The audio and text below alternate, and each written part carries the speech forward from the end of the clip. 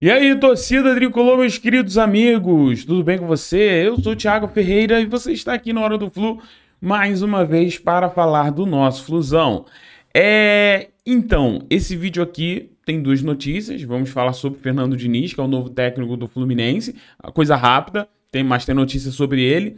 E também, rapaz, sobre o valor de Caio Paulista. É, meus amigos. Que engraçado, né? Mas vamos conversar aqui nesse vídeo, beleza?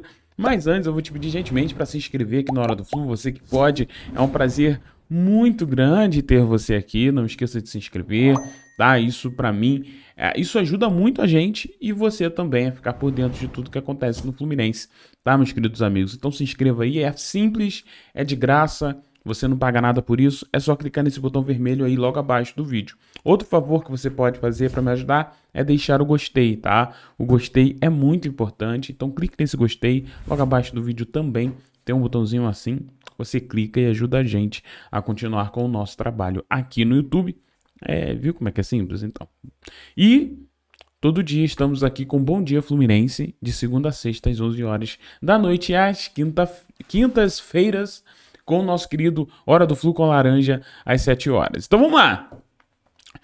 Meus amigos, vamos falar rapidinho aqui sobre Fernando Diniz. Olha só, rapaz, o Fernando Diniz, que é o novo técnico do Fluminense, né? ainda não foi divulgado oficialmente, mas já está fechado, é ele mesmo, tá? Vai dizer que empolgado, Diniz voltará para a nova chance no Fluminense com o velho desafio, futebol vistoso e resultado. É isso mesmo, é, é o que eu espero do Fernando Diniz um futebol interessante de se assistir, também com resultado. Claro, obviamente o futebol precisa vencer e a gente sabe o Fernando Diniz também, né? Vai dizer uma coisa aqui, o dinizismo, dinizismo está de volta, né? Vai voltar. Ainda não é oficial, mas Fernando Diniz será o novo técnico do Fluminense, né? Acho que todo mundo sabe disso, já era isso aí mesmo né? Uh, e o GE apurou que o Diniz está entusiasmado com o grupo cascudo que o Fluminense tem hoje, com atletas que ele já conhece, como Ganso e outros que ele, que ele admira, mesmo Uh, sem nunca ter trabalhado junto como Felipe Melo, William Bigode, além do talento dos jovens de Xerém, ele conhece bem, diz aqui. Então, o Fernando Diniz, tá, galera? Está muito empolgado, entusiasmado. É isso, eu acho que isso é bom, né? Vamos sempre torcer aqui para que ele consiga fazer de fato um trabalho excelente, porque quem ganha com isso, né, gente? A gente sabe que é o Fluminense, né? E é o que a gente torce. E uma das coisas que a gente precisa falar aqui é que o fato do Fernando Diniz estar voltando para o Fluminense, o que causa em mim é aquela esperança de um bom futebol. Além do resultado, obviamente, né?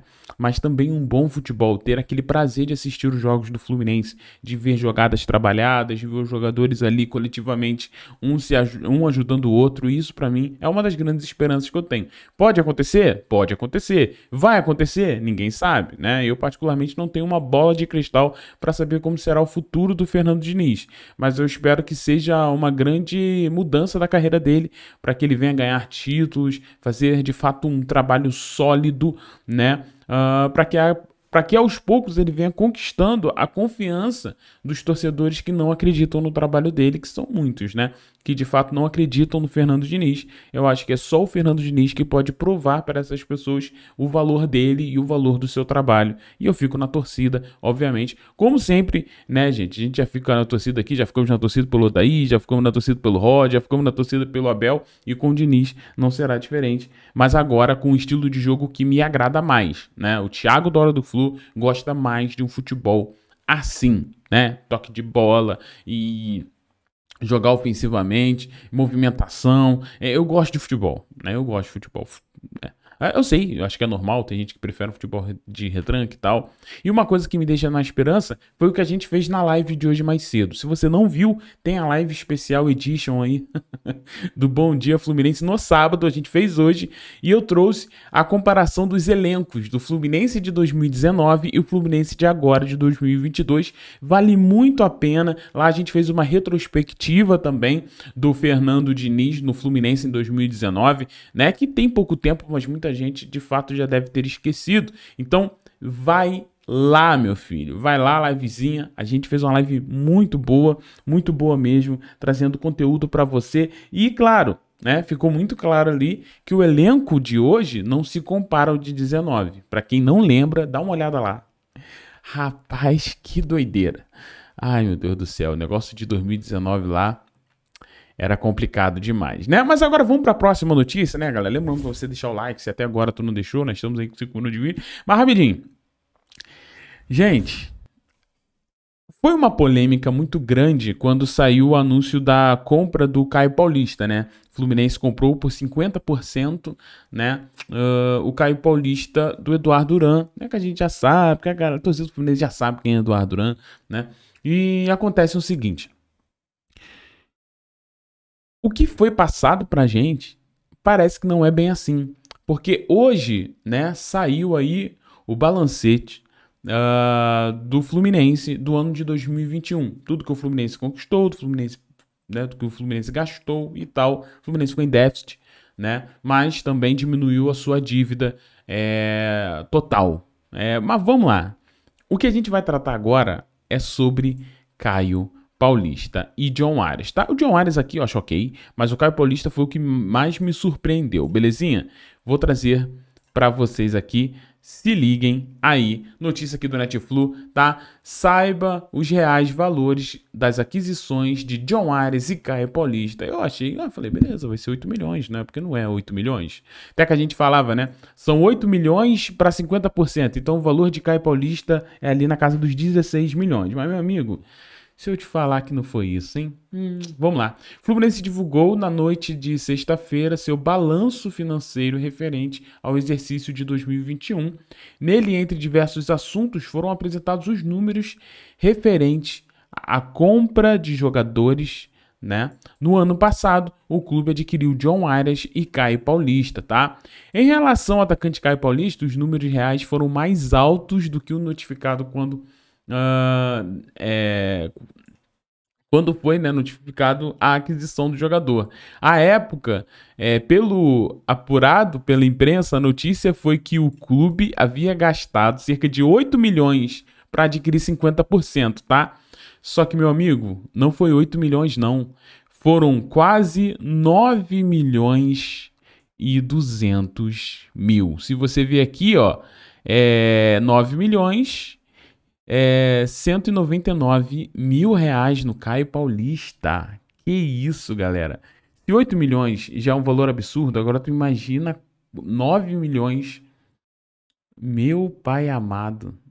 Então é tipo assim: é, 9 milhões é, é 1 milhão a mais, 1 milhão e 200 né, a mais daquilo que a gente achava que de fato é. Né? Essas coisas que eu falo que a gente tem que prestar muita atenção, a gente tem que ver direitinho, porque o que pega mesmo é o papel. O papel tá ali, né? Então é isso. Se a venda do, do Caio Paulista foi polêmica na época, ainda é mais caro do que, do que deveria, né? E, e, e cara, que absurdo, né? Continuando aqui a matéria, vai ter também a venda do John Ares, né? A aquisição do John Ares junto ao Patriotas da Colômbia, o valor foi de 3 milhões e 100 mil reais, tá bom? Aqui eu acho que já foi um investimento muito bom. Olha só a diferença de investimento, né, galera? Apesar de ser de posições diferentes, você vai ver o Fluminense consegue comprar um John Ares por 3 milhões, vou arredondar. É, e no caso, o Caio Paulista, né, que tipo não vem sendo utilizado, é um jogador tecnicamente muito questionado, né, pela torcida paga 9 milhões, né? Então, que, que, sentido faz isso aqui? Ao todo foram aí 12 milhões, tá, pessoal? A custo de transação, intermediação, né? O total de investimento do Fluminense, pouquinho investimento, né? Mas é isso, foi de 12 milhões ali, John Arias e o Caio Paulista, mas esse valor do Caio Paulista é 10 quadrado, hein? Rapaz, 9 milhões 199 mil reais no Caio Paulista é impressionante, hein, torcida, ô, diretoria? Que isso, cara. Pelo amor de Deus, não faz sentido nenhum. Aí depois fala, né? Ah, o Fluminense não tem dinheiro. Gente, então, ó, a gente tá falando do ano de 2021. Eu quero ver o valor do Cris Silva, rapaz, né, diretor? Quero ver o valor do Cris Silva. Estão falando agora que foram 9 milhões. Quero ver do Cris Silva, porque só ali, só no papel aqui, ó, só quando eu vejo o papelzinho aqui, ó, que eu já, ah, foi isso mesmo. Que, ó, acho que a gente pode ter mais surpresas aí, né? Porque isso aqui me surpreendeu demais. 9 milhões? Pelo amor de Deus. O que, que tu acha, torcedor? Valeu? Ou vale a pena? Ou o Fluminense se acerta em fazer um investimento tão alto em Caio Paulista assim? Bom, coloca nos comentários a opinião. Eu vou ficando por aqui esperando mais notícias para trazer para vocês. Mas para você não ficar é, sem receber nada, né?